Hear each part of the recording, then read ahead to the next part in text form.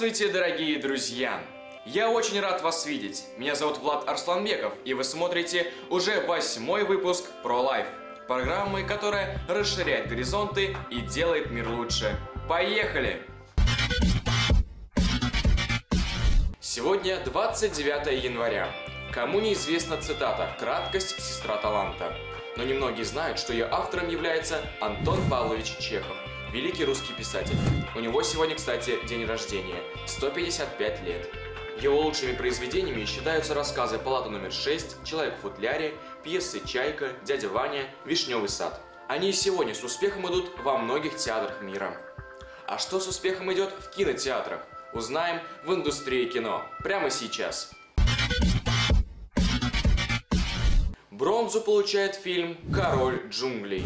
Молодой парень, который живет в джунглях Аргентины, в один прекрасный день решает проверить плантацию, где живут его отец и его сестра. В то же время на плантацию нападает банда грабителей. Теперь на плечах молодого парня целая плантация и куча вопросов.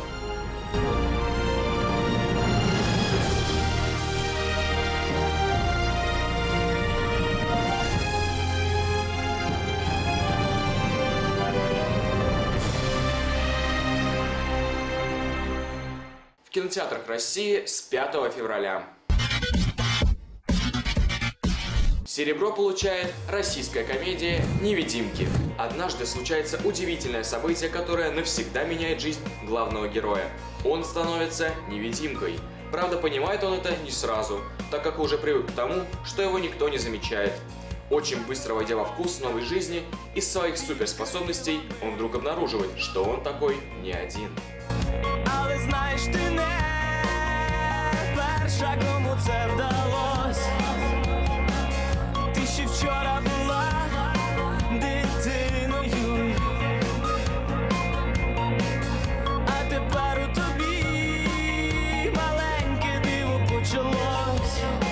Ось ось. Ось ось. С Человеком-невидимкой можно будет познакомиться в кинотеатрах с 5 февраля. И заслуженное золото получает премьера. Восхождение Юпитер. Юпитер Джонс родилась под ночным небом, и все предсказывали, что девочке предстоят великие свершения. Юпитер выросла и каждый день видит во сне звезды, но просыпается в жесткой реальности, где она работает уборщицей. Жизнь Юпитер оставляет желать лучшего, пока девушка не встречает Кейна. Кейн, бывший военный охотник, прибывает на Землю, чтобы отыскать Юпитер и раскрыть девушке ее истинное предназначение. Благодаря своим генетическим особенностям Юпитер становится претенденткой невероятного наследия, способного изменить равновесие во Вселенной.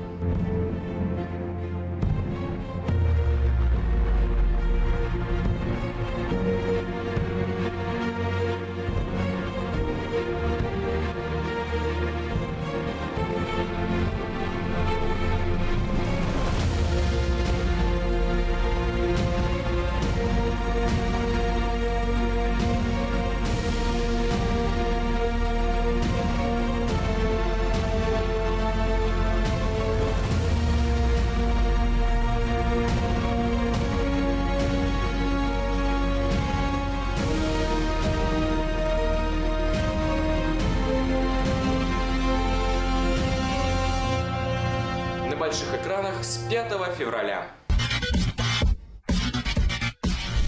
О самых интересных профессиях вам, как всегда, расскажет Сурат Мамедов в рубрике «Профессия с начинкой».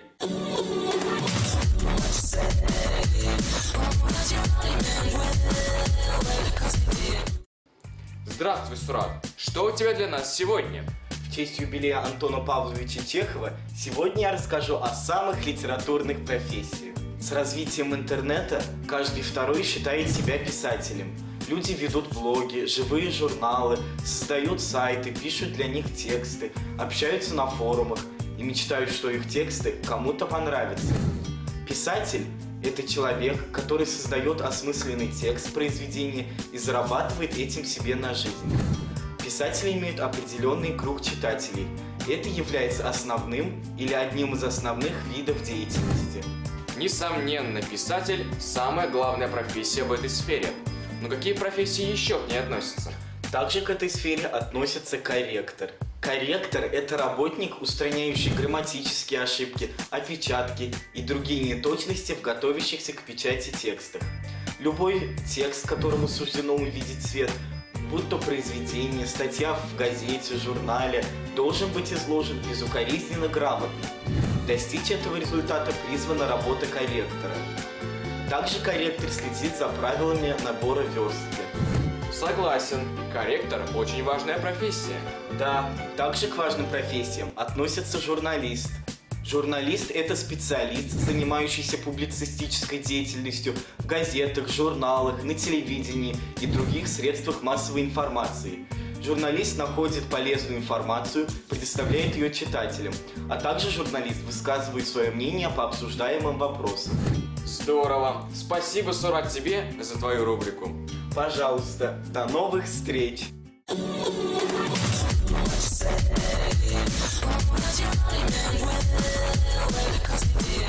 А у китайцев появился 3D принтер, способный обеспечить жильем всех желающих. Огромная машина длиной 32 метра напечатала целый дом. Результат впечатляет, не правда? И стоит такой дом дешевле, чем дом, построенный обычным способом. А вот строители с опаской относятся к таким экспериментам. Они сомневаются в прочности такой конструкции и предлагают дождаться первых ветров. 2015 год объявлен годом литературы. И в честь этого в программе ProLife новая рубрика. А расскажет вам о ней Ильза Харасова.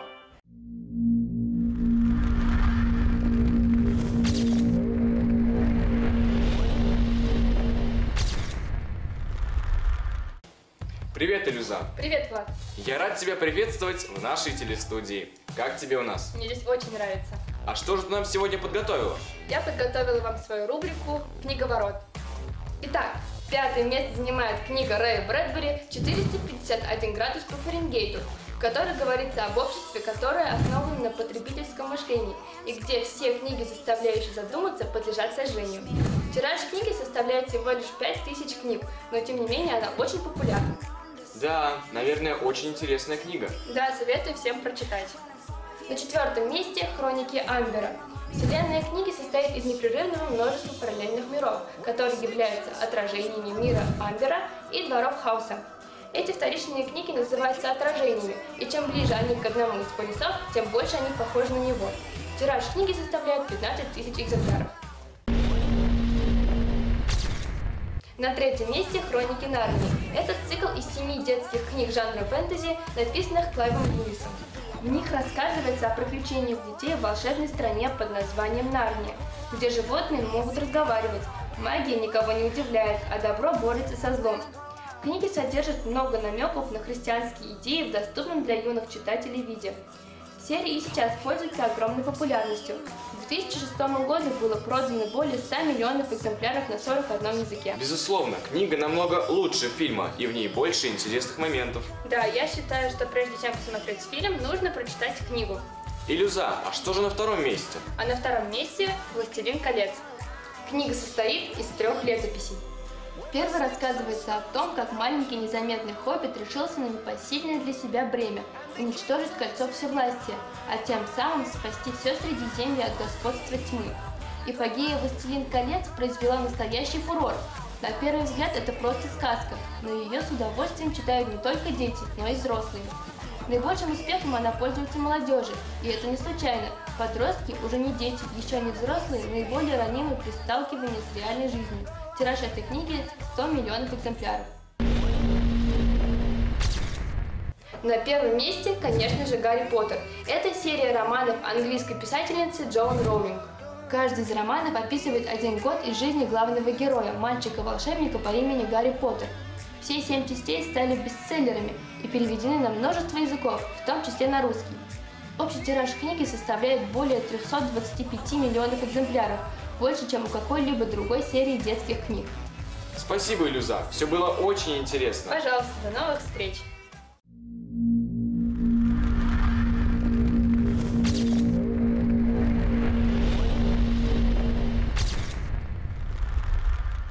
Все мы в душе дети. Это особенно видно из следующего видео. Ребенок захотел попрыгать в бассейне с шариками, но щедрый папа заказал для него целый дом с шариками. Позвали друзей, и праздник превратился в веселое безумие. Оказывается, солидные мужчины могут отрываться не хуже пятилетних детей. Малышам остается только завидовать. Им-то так нельзя. Снова Юлия Иванова познакомит вас с новинками в мире технологий. Прямо сейчас Технолайф.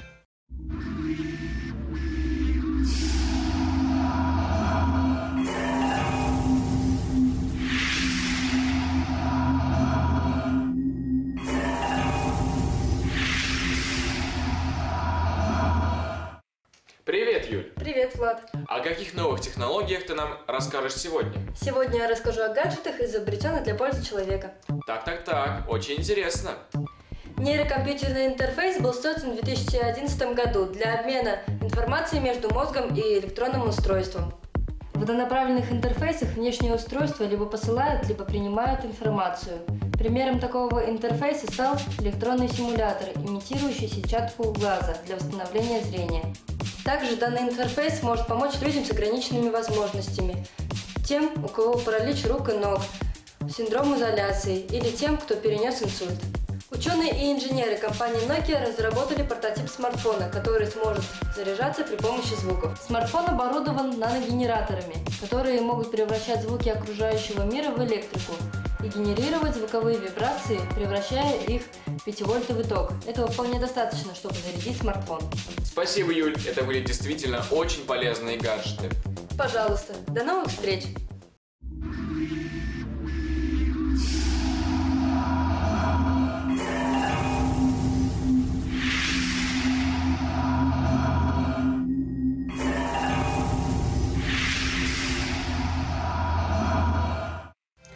Интересных фактах времен Великой Отечественной войны расскажет Кавхар Мамедова в рубрике «70 шагов к Великой Победе».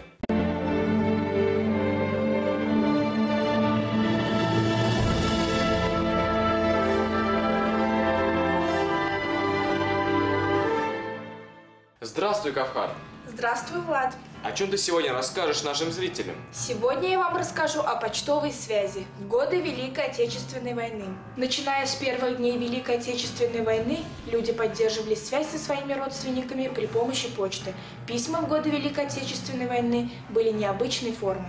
Письмо-треугольник представляло собой лист бумаги прямоугольной формы, загнутый сначала справа налево, а потом слева направо. Оставшаяся полоска бумаги вставлялась внутрь. Марка не требовалась, письмо не заклеивалось, так как все знали о том, что его будет читать цензура. На наружной стороне писался адрес назначения и обратный, а также оставлялось чистое место для отметок почтовых работников. Поскольку тетради были на вес золота, послание писалось мельчайшим почерком, заполнялось все пригодное пространство. Подобные письма-треугольники складывали даже маленькие дети, которые сооружали послание папки из обычного куска газеты. Если адресат к моменту доставки письма уже погиб, то на треугольнике делали запись о гибели, перечеркивали адрес назначения и возвращали обратно. Зачастую такой треугольник заменял похоронку. В редких случаях, когда адресат числился без вести пропавшим или был расстрелян за трусость, письмо уничтожали. Если солдат был переведен в другую часть, попал в лазарет или госпиталь, то на месте для пометок ставили новый адрес. Некоторые такие переадресованные письма исчезали на долгое время, находя адресата уже через годы после войны. Спасибо, Кавхар. А я и не знал об этом. Думаю, нашим зрителям было очень интересно. Я тоже на это надеюсь. Пока. До новых встреч!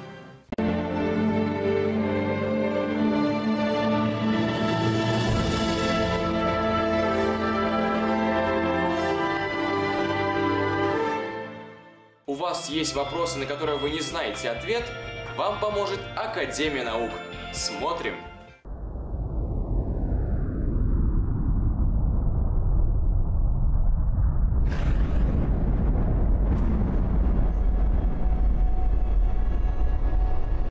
Здравствуйте, с вами Академия наук, куда каждый день приходят сотни интереснейших вопросов. на которые я с радостью буду отвечать. Нам пришел первый вопрос. Читай. Откуда берется голос? Ну, изо рта, наверное. Нет, неправильно. Голос – это звуковые колебания, которые распространяются в упругих средах, допустим, в воде. Ого, как интересно.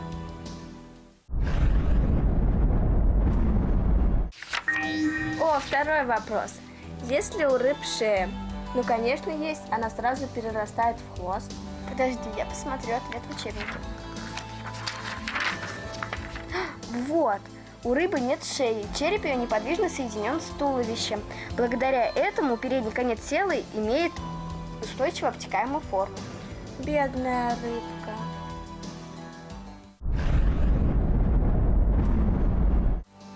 Еще один вопрос. Есть ли на Земле люди с фамилией Карлсон? Ну, конечно же, есть. Да, ты права. Только в Швеции живет более 300 тысяч человек с такой фамилией. Неплохо.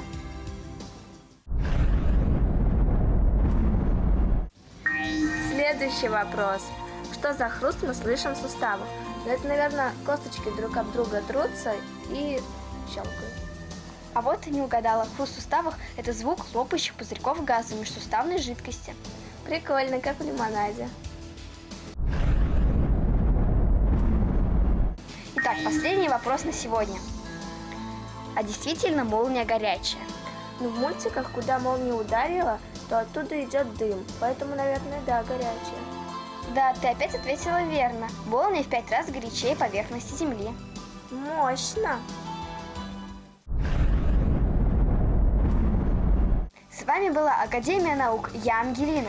Я Элина. Присылайте свои вопросы в нашу группу ВКонтакте. Всем пока!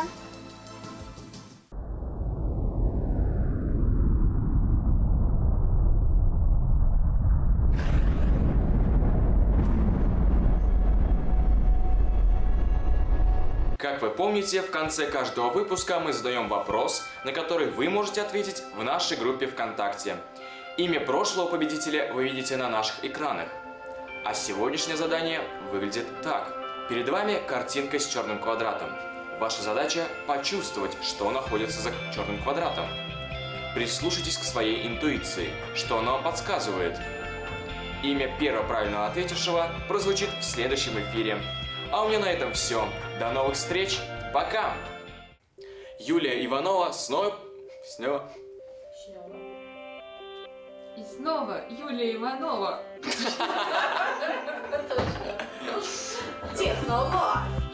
В программе про лайф. Согласен, корректор, безусловно, очень важная профессия. Да, еще важная профессия.